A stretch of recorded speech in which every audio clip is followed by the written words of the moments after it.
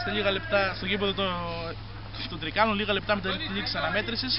Ε, τελικό αποτέλεσμα Μέγας Αλέξανδρος Τρίκαλα, ε, Τρικάλων Πάουκ 2-3. Έχουμε κοντά μας δύο παίχτες, δύο πρωταγωνιστές στο αγώνα. Ε, ο Γιώργος Μπουκλάς πρώτα θα μας πει δύο λόγια για το παιχνίδι. Γιώργο. Ε, π- εντάξει, ένα, ήταν ένα δύσκολο παιχνίδι, δεν ήμασταν σίγουροι για, το- για το μάτσο αυτό. Εντάξει, παίξαμε καλά πιστεύω από την αρχή, ξεκινήσαμε καλά, προηγηθήκαμε γρήγορα και πιστεύω και αυτός μας βοήθησε στο τελικό αποτέλεσμα του παιχνιδιού. Αυτά. Ε, τη Τετάρτη. Είμαστε καλά. Να πούμε ότι ο Πάουκ την Τετάρτη παίζει το, Λοιπόν, το τελικό ε, κυπέλο στο γήπεδο της Βέρειας 3 η ώρα. Να εντάξει. καλέσουμε και όλους τους ανθρώπους της συμμαθία ποδοσφαιρόφιλους. Πάνω απ' όλα, δεν παίζουμε και μια εύκολη ομάδα. Θα- θα- Κάποιες φορές είναι πολύ καλή ομάδα, θα προσπαθήσουμε να κερδίσουμε.